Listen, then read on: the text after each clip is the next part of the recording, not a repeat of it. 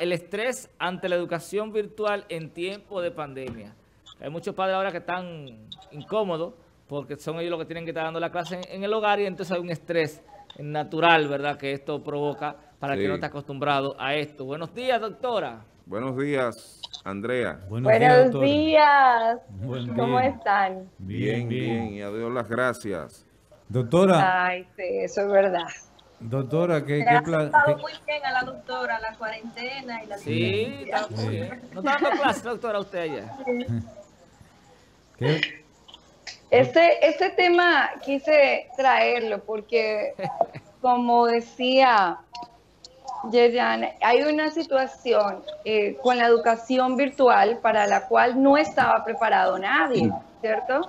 Claro que hay experiencias de educación virtual, eh, algunas, por ejemplo, de algunas universidades que dan algunas asignaturas, otras como la UAPA, que es semipresencial o, o totalmente virtual, pero el virtualizar todo eh, ha representado fuerte estrés, no solamente eh, para los padres, para los maestros, para los estudiantes. Ayer precisamente hicimos la terapia comunitaria, el espacio que se está ofreciendo gracias a Infodosu y la UAC, y uno de los temas que salió por parte de los estudiantes fue el estrés estudiantes universitarios que tenían hasta por el exceso de tareas. Decía que los profesores estaban colocando incluso más cosas que lo que hacían normalmente en presencialidad.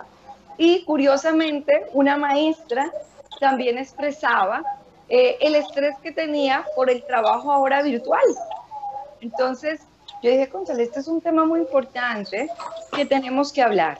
Y además de eso, estaba viendo algunas noticias y una parte, una nota incluso que reportaba UNICEF, que el exceso de, tareas eh, para nuestros niños especialmente eh, ha generado eh, aumento de violencia hacia los niños, porque claro, los padres estamos estresados, vemos que tienen un volumen grande de tareas, en muchos colegios también no hay flexibilidad frente a los horarios, ¿cierto? Hay que mandar la tarea a la una, a la doce. Pero entonces pongo mi caso, ¿cierto? Yo estoy eh, teletrabajando también, eh, tengo un niño pequeño, la única que puede hacer las tareas con el niño soy yo, entonces una de dos, o trabajo, cumplo mis horarios, o el niño hace las tareas y cumple los suyos. Entonces todo esto también nos tiene que llevar a reflexionar.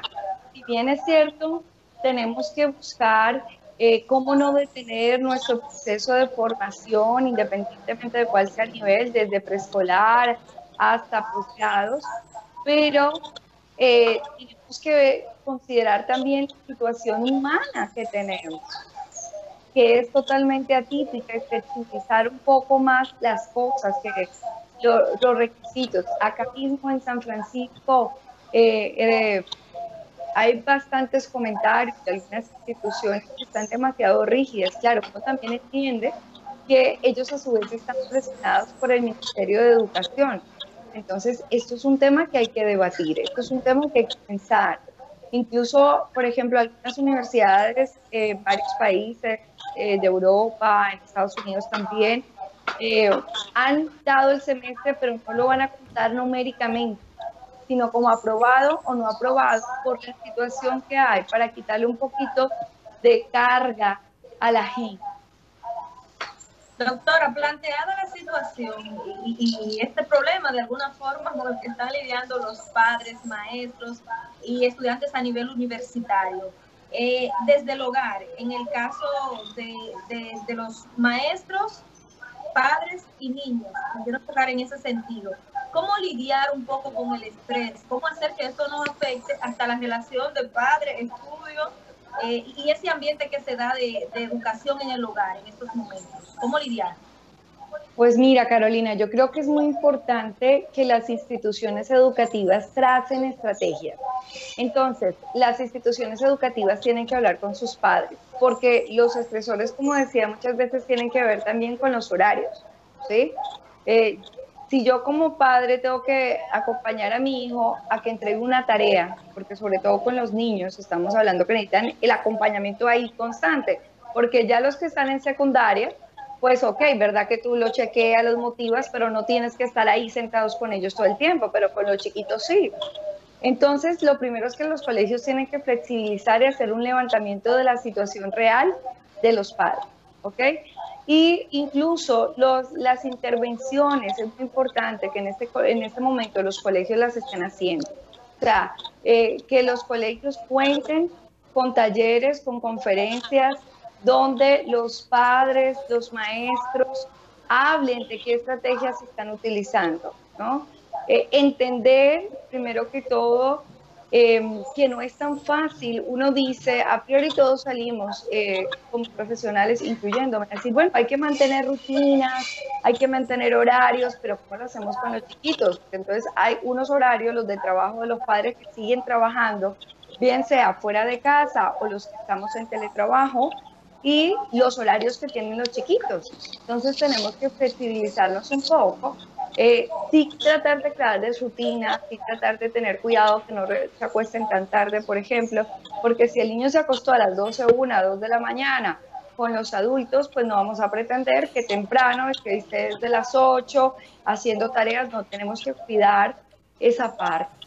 Lo otro es entender el nivel que si nosotros como adultos nos cuesta la gestión de nuestras emociones, pues muchísimo más en el caso de nuestros hijos es normal que el niño esté un poco malteado, que esté de mal humor. El niño no, no tiene, por lo general, especial los pequeños, la capacidad de decir, ay mami, es que yo estoy estresada por salir. Ah, es que yo tengo miedo por, eh, por el bicho. No, el niño no te verbaliza eso así. Como el niño no sabe porque está en proceso de aprender esas cosas, el niño que hace va mal genio, va a gritar. Ah, mira, desde ayer, Carolina, el mío tiene cinco años, casi seis. Eh, él salió al balcón, él lleva mes y medio ya sin salir de aquí, él salió al balcón y empezó a gritar, Y salió, yo no le dije nada, yo lo dejé, regresa y me dice, mami, ya me siento mejor. Necesitaba desatarse.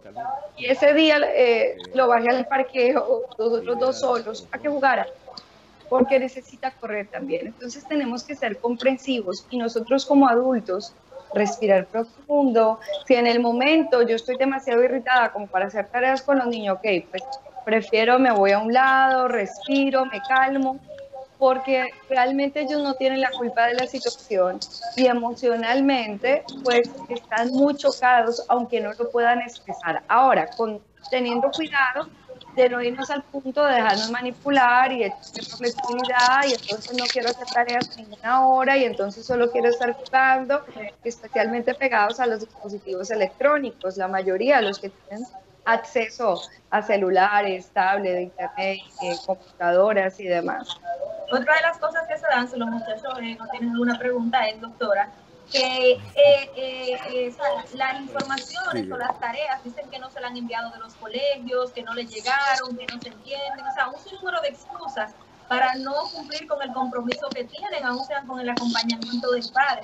¿Nos puede usted decir cuáles acciones eh, o qué hacen estos los niños en el hogar dentro de su comportamiento, o sea, su comportamiento dentro de esta situación para evadir esa responsabilidad un tanto odiosa, si se podría decir así?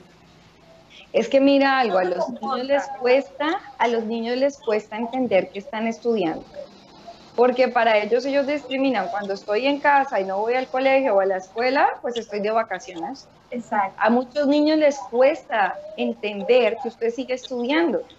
Para ellos, ellos están en vacaciones y los están obligando a estudiar. Entonces no tienen la actitud. Entonces hay que sentarnos a hablar con ellos y nosotros como padres, nosotros mismos a veces decimos, ay, mejor que no nos revise, mejor que esta profesora esto. Eh, si tenemos de pronto una profesora que no le da el seguimiento a los niños, son ay, mejor, por suerte la, la profesora del niño ni mía no molesta. Es que lo de menos, lo de menos es la nota que haya, es lo que el ministerio diga. El problema es que los niños se van atrasando que necesitan ir quemando etapas, que necesitan ir estimulando y a veces en, términos de los niños pues, tenemos periodos críticos para aprendizaje de ciertas cosas, especialmente con los chiquititos, con los que estamos en, educación preescolar, los primeros años de la primaria. Entonces, es, es, una cuestión de nosotros hablar con los niños y decirle, mira, para mí también es difícil, y yo se lo he dicho a Nicolás, yo también tengo trabajo y tengo mucho trabajo, mi amor, y para mí también es difícil sentarme acá contigo, pero hay que hacerlo, lo hago porque te amo y lo hago porque tu educación es importante en mi vida. Entonces tú tienes que entender y entonces hablarles, ¿no? Eh, ¿Qué te gustaría hacer cuando grande? Ah, quiero ser médico, enfermera, bombero, bueno, lo que sea. Bueno, amor, para hacer eso hay que estudiar, hay que aprender a leer, hay que... es una cuestión de que los niños comprendan la importancia de la educación, no que lo vean como una imposición, sino que entiendan la importancia que tiene para su presente y para su futuro. Incluso incentivarlos con cosas. El mío, por ejemplo, está en proceso de alfabetización y muchas veces depende de mí o de cualquier adulto que esté por allí para, mami, ¿qué es lo que dice este juego? ¿Dónde le tengo que dar? Entonces yo le digo, papi, si tú aprendes a leer rápido, tú puedes leer lo que dicen los juegos y tú solito poder manejar solo el computador o la tablet. Entonces, esas son cosas, lo, los sea, hay que ver el gancho con las cosas que a ellos les gusta, que ellos vean la utilidad que tienen. Yo le digo, tú ves que te gusta que te den el dinero, pero como yo te lo doy si tú no te sabes los números? Tienes que saberte los números para saber manejar el dinero y yo poderte dar tu dinerito para comprar las cosas cuando necesites. O sea, es una cuestión de motivación más que de. Doctora. Sí. Gusto de, tenerla como cada jueves. Aquí la veo más cerca, sí. Aquí la tenemos. Mire, eh, está muy bien eh, los las orientaciones porque hay que mejorar la calidad de vida de cada día durante la pandemia en el hogar, sobre todo en el estudio. Tenemos otros estudiantes que son ya universitarios que están teniendo también estrés y están en la casa con nosotros, nuestros hijos. Yo no tengo niños pequeños, tengo ya un adolescente, un joven que está estudiando a veces eh, su independencia nos libera un poco, aunque tenemos que ayudarnos todos. ¿Cómo usted califica qué será post pandemia? O cómo, si ustedes ya como psicólogos y área de la, de la sociología humana han determinado qué será post pandemia o si están percibiendo que van a tener un ciclo más largo a pesar de que tenemos ahora una extensión de la de la emergencia que posiblemente sean 17 días, no más de 17 o 25. Pues mira, Francis, ya la OMS y otras instituciones eh, importantes como la APA, la Asociación Americana de Psicología y Psiquiatría, han hecho declaraciones, al igual que otros eh, colegios de psicólogos y asociaciones de profesionales de la salud mental, donde tenemos claridad que después de esta pandemia por el virus va a venir otra pandemia en términos de la salud mental. Por eso es muy importante, muy importante, que hagamos un trabajo de prevención, que hablemos de esto, que hablemos de lo que nos está pasando, ¿sí? Eh, que realicemos trabajos de intervención, eh, preventiva, que hagamos promoción de la salud, que le demos a las personas estrategias. Incluso, eh, yo entiendo que el sistema educativo ahorita no solamente debe preocuparse por los contenidos académicos, sino que, por ejemplo, eh, cuentan con psicólogos y orientadores que hacen parte del sistema, tanto a nivel público como a nivel privado. nosotros tenemos que estar activos, muy activos, de estar dándole herramientas a la persona para evitar que las personas nos vayan a entrar en crisis después de que pase esto o incluso ahora hay muchas personas en crisis, tanto los niños como los jóvenes como los adultos. Entonces necesitamos una psicoeducación, no solamente educación en los contenidos académicos, necesitamos el desarrollo de esas competencias blandas. Y en eso, por cierto, eh, quiero aplaudir y resaltar la importantísima labor que están haciendo los psicólogos y muy especialmente los psicólogos de esta región. Eh, ayer eh, en la página Dinero salió un artículo que resalta lo que se está haciendo en términos de los eh, psicólogos de, escolares. Por ejemplo, la, la ADP ha organizado una línea voluntaria donde atienden los casos, donde le dan seguimiento. Además de eso, se están eh, trabajando los entrenamientos para que los colegas puedan tener esas herramientas. Eh, al igual que instituciones como Infotec, que está contribuyendo a la formación, al hacer talleres, eh, tanto en las empresas para el manejo de las emociones en este estado de pandemia, como en instituciones educativas también. Y así hay otras, muchas otras instituciones que están haciendo una labor de promoción de la salud para que evitemos esta segunda pandemia. Entonces, este es el otro llamado y es que el sistema educativo, y en esto el Ministerio de Educación tiene que estar claro y la MESI, no solamente debe preocuparse de los contenidos académicos, sino del trabajo de psicoeducación, porque si no hay salud mental, pues no vamos a poder continuar con los procesos de formación. Bien, gracias. ¿Están ahí, muchachos? Bueno, se sentó ahora. No, una pregunta. Bueno, pues, ¿tienen alguna otra pregunta? No, un mensaje final a propósito de, del tema, eh, doctora, porque francamente hemos estado, eh, si se quiere, yo admito, es una situación que no, a la que no estábamos acostumbrados y como que medio uno como que se resiste un poco al manejo de, al seguimiento más bien, porque darle seguimiento a las clases de, los estudiantes, de, los niños, qué contradicción, ¿verdad? Eh, en la casa y vía virtual. ¿No? Y, teniendo que pagar el colegio. Exacto. incluso eh, hay gente que dice, ah, pero estamos pagando el colegio, pero la clase le estoy dando yo en mi casa. Eh, no, no es cierto. No, por eso pero mire, yo quiero que, practiquemos la empatía. O sea, yo creo que practiquemos la empatía. Eh, y es, para los maestros, tampoco ha sido fácil. Ah. para los maestros no ha sido fácil eh, primero, para algunos, pues los ha cogido un poco fuera de base porque no tenían el entrenamiento y el manejo de las herramientas tecnológicas de las TIC. O sea, tú estás aprendiendo el, lenguaje beisbolero de este país. ¿eh? Hace rato que no está dando cátedra de aplatanamiento. Habló de gancho ahí. Tú tienes que conocer el gancho. Tú sabes cómo... Doctora, doctora, doctora, nosotros los padres que también tenemos que hacer trabajo desde la casa. Y también tenemos los hijos adolescentes un poquito mayores, también haciendo sus trabajos desde la casa, eh, cumpliendo con las universidades a las que pertenecen. Se crea un ambiente fuerte, difícil. ¿Cómo, usted cree que uno podría trabajar esos casos?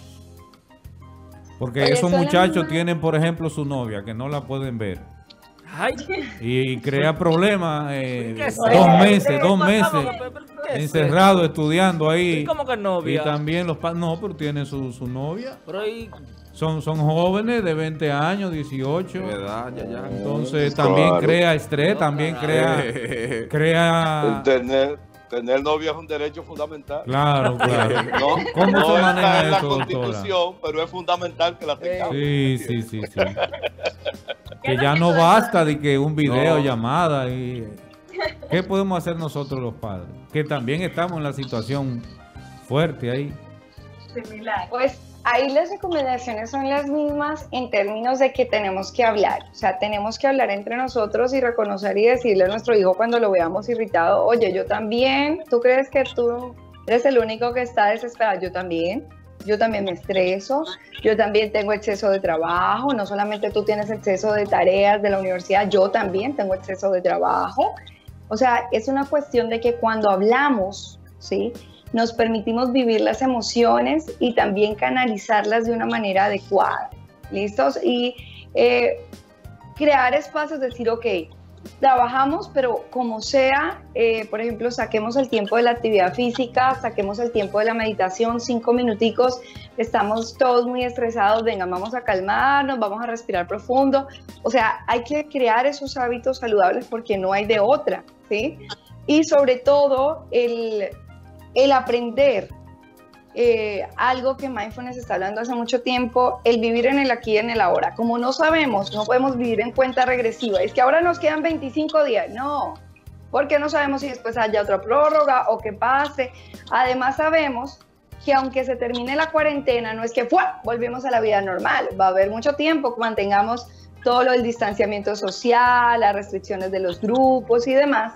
Entonces, aprender a disfrutar el día a día y el crear esos hábitos de, ok, estamos saturados de trabajo, estamos saturados con el estudio, pero necesitamos hacer un chin de ejercicio, necesitamos un chin de meditación, de ejercicios de relajación, bájate una aplicación en el celular, de estos que te, te ayudan eh, a, hacer ejercicios de relajación y meditación. O el punto es que hablemos de lo que pasa y como familia lo enfrentemos. Y desde luego es difícil para, para todos nosotros y que no juzguemos al otro, o sea, no, no nos juzguemos entre nosotros. De, ay, claro, ese muchachito no sabe la presión que yo tengo, yo sí trabajo, yo tengo que buscar la comida, no sé. No, él también tiene sus obligaciones, él también está en un momento del ciclo vital, lo mismo en términos del sistema educativo. Entonces, a esa profesora no hace nada, esa profesora sí está haciendo y está tensa, y también le, le están dando unos lineamientos que además no han sido claros por parte del ministerio. Dicen una cosa y mañana dicen otra, ¿eh? Y eso tiene a los profesores y a los administrativos locos también. Entonces los padres también tenemos presión, los colegios tienen que flexibilizar. O sea, la cuestión aquí es de ser empáticos, de ponernos en el lugar del otro, el no juzgar y darnos la oportunidad de compartir nuestras emociones, vivirlas y encontrar soluciones conjuntas. Así es. Bueno, pues muchísimas gracias a la doctora Andrea Manjarres, psicóloga, quien ha conversado con nosotros sobre este tema.